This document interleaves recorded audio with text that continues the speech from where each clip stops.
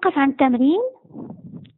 خلينا نشوف كيف فيكم تحضروا حالكم وتعرفوا شو دوافعكم لخوض مجال التصوير أول شيء اسألوا نفسكم هل أنا شركتي عندها منتج أو خدمة بيع عم تنباع بنجاح بالسوق المحلي؟ هيدي شغلة كتير هامة. مش معناتها إذا أنتم منكم ناجحين بالسوق المحلي رح تنجحوا بالتصوير رح تنجحوا بالسوق العالمي. لازم تكونوا قوية بالسوق المحلي لحتى تضمنوا نجاح بالسوق العالمي. كمان تسألوا نفسكم هل الشركة عندها خطة تسويق دولية؟ نحن لما نحط خطة تسويق محلية رح تكون مختلفة عن خطة التسويق الدولية. فانتبهوا ما فيكم تستعملوا نفس خطة التسويق نستعملها بكل البلدان. لأن كل بلد عنده بيكون أهداف واستراتيجيات محددة للبلد هيدا. كمان تسألوا نفسكم هل شركتي قادرة على إنتاج سلع وخدمات كافية لحتى أقدر التزم بسوق التصدير؟ لأنه اليوم إذا أنا عم روج لأي خدمة وإجاني طلبيات لازم أقدر لبي هذه الطلبيات بالسرعة الكافية وبالجودة الكافية كمان.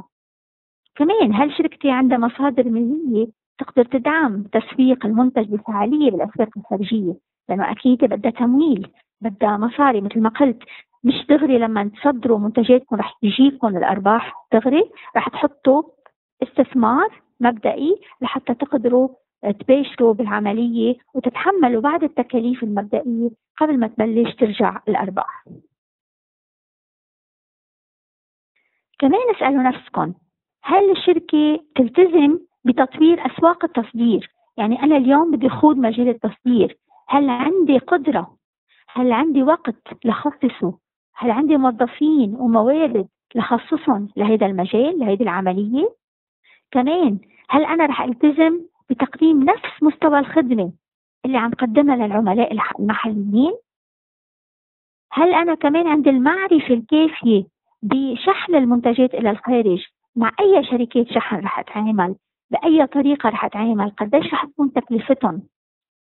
وكمان هل أنا عندي معرفة بآليات الدفع المخصصة بالتصدير؟ لأنه اليوم الدفع بالسوق المحلي رح يكون مختلف عن الدفع بسوق التصدير من رسائل الائتمان التفاوض بهال بهالعقود إلى آخره.